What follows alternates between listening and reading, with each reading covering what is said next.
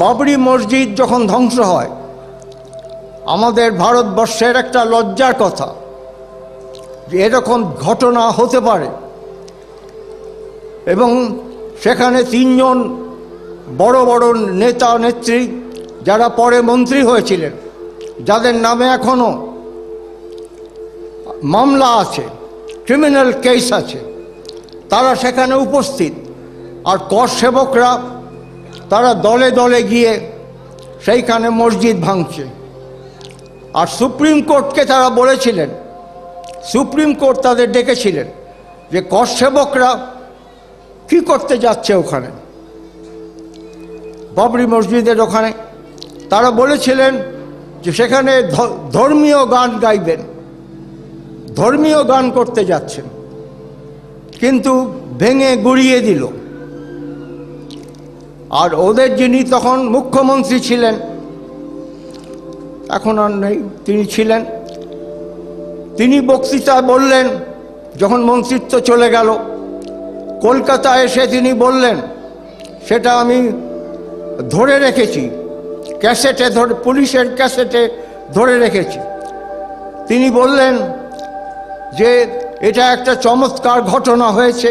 হিন্দি ভাষায় বললেন যে, এখন একটা নতুন নতুন যুগের মধ্যে আমরা ঢুকে গেলাম। এই কর সেবকরা যা করল, এটা নতুন যুগ শুরু হয়ে গেল।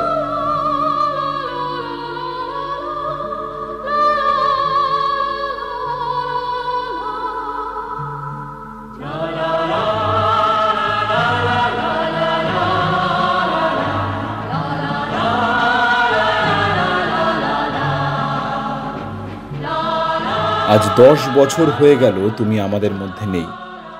জনসমুদ্রে আর গান স্যালুটে বিদায় নিয়েছ তুমি এক দশক আগে। তুমি শালা বাংলাকে নষ্ট করে দিয়েছ। বাংলাকে বঞ্জার জমিন বানিয়েছ। বাংলাকে একশো বছর পিছিয়ে দিয়েছ। রিফিউজি ঢুকিয়েছ। ইংরেজি তুলে বাংলা ভাষা মাতৃদুগ্ধ বলেছ।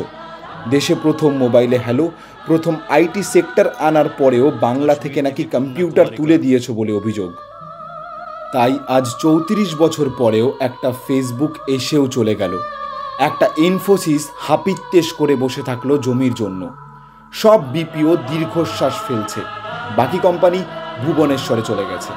একটাও সেক্টর ফাইভের পরে সেক্টর সিক্স সেভেন এইট এলো না। রাজারহাটের পরে রানীহাট এলো না। ভূমি সংস্কারের পরে একটাও নতুন কৃষি বিপ্লব হলো না। উল্টে কৃষক আত্মহত্যা বেড়ে চলল গোটা দেশে। বাণিজ্য নগরী কাঁপিয়ে কৃষক মিছিল হলো। আর শৌখিন বাবু বিবিরা মানতে শিখল যে দেওয়ালে পিঠ ঠেকে গেলে দেওয়াল জুড়ে লিখতে হয়, মিছিল করতে হয়। তোমার ওই পাগলা গৌতম চেয়েছিল গোটা দেশের সার্ভিস সেক্টর ক্যাপিটাল হোক বাংলা। নয়ডা, গুরগাঁও এর অনেক আগে একটা রাজার হাট ছিল। একটা সিঙ্গুর হতো। ঘরের ছেলেমেয়েরা ঘরেই থাকতো। পাড়াগুলো গম গম করতো। কিন্তু ছেলেমেয়েরা দিল্লি, মুম্বাই, পুনে, চেন্নাই পাড়ি দিল। বাংলাকে বৃদ্ধাশ্রম বানিয়ে।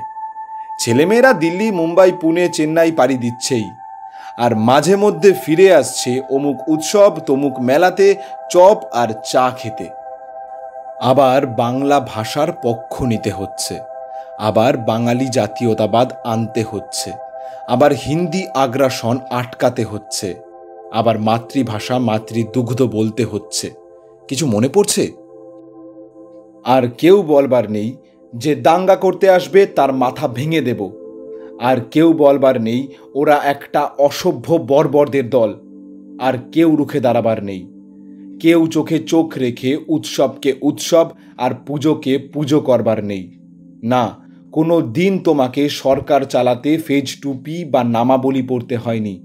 কোনো দিন ভোট পেতে জয় শ্রীরাম বা ইনশাল্লাহ বলতে হয়নি। না, আর কেউ দেশের রাজনীতিতে যুক্ত ফ্রন্ট, ফেডারাল ফ্রন্ট বা তৃতীয় ফ্রন্টের প্রধানমন্ত্রী পদপ্রার্থী নেই, সব ফাউ। বাংলার মুখ্যমন্ত্রীকে আর কেউ সমীহ করে প্রধানমন্ত্রী হতে বলে না। গান্ধী পরিবার আর কারোর অনুযোগ শুনে চুপ করে যায় না। পলিট ব্যুরো আর কোনো বাস্তববাদী সিদ্ধান্ত নিতে কলকাতা মুখ হয় না। আর কোনো ত্রিস্তর পঞ্চায়েত ব্যবস্থা বেঁচে নেই। এখন পঞ্চায়েত ভোটে ঘর থেকে বেরোলে বোমা মেরে দেওয়া হয় দালানে। লাল পতাকাও নেই, তাই মেহনতি মানুষেরা বিভ্রান্ত। জাতের জন্য লড়বে না ভাতের জন্য? অনেকটা দেরি হয়ে গেছে। মাংস পোড়া গন্ধ ভাতের সাথে মিশে গেছে। এখন প্রতি ভোটের আগে বিরোধী শূন্য করার ফরমান জারি হয়। এখন ভোট উৎসব না, মৃত্যু মিছিল। মৃত্যু বাঙালি রাজনৈতিক কর্মী না, হিন্দু বা মুসলিমের হয়। এখন আর কেউ নেই বলার, আমি নিরপেক্ষ নই, আমি মেহনতি মানুষের পক্ষে। এখন আর কেউ সুভাষ চক্রবর্তীর মতো দামালদের প্রশ্রয় দেওয়ার নেই, তাই হয়তো আর একটা সুভাষ চক্রবর্তীও নেই। এখন আর কেউ বিরোধীদের সেরফ পাত্তা না দিয়ে ইস্যুকে নন ইস্যু ও সামান্য বানিয়ে দিতে পারে না। গোটা দেশ দিকি দিকি জ্বলছে যখন একটা দারুণ বিস্ফোরণে জেগে উঠবে বলে তুমি গেছো। স্পর্ধা গেছে। বুদ্ধ গেছে। অন্ধকার এসেছে। ঘুমাও জ্যোতি বসু, আমরা জেগে আছি। হয়তো সামান্য কয়েকজন, কিন্তু আছি। কমরেড জ্যোতি বসু, তোমায় জানাই লাল লাল লাল সালাম।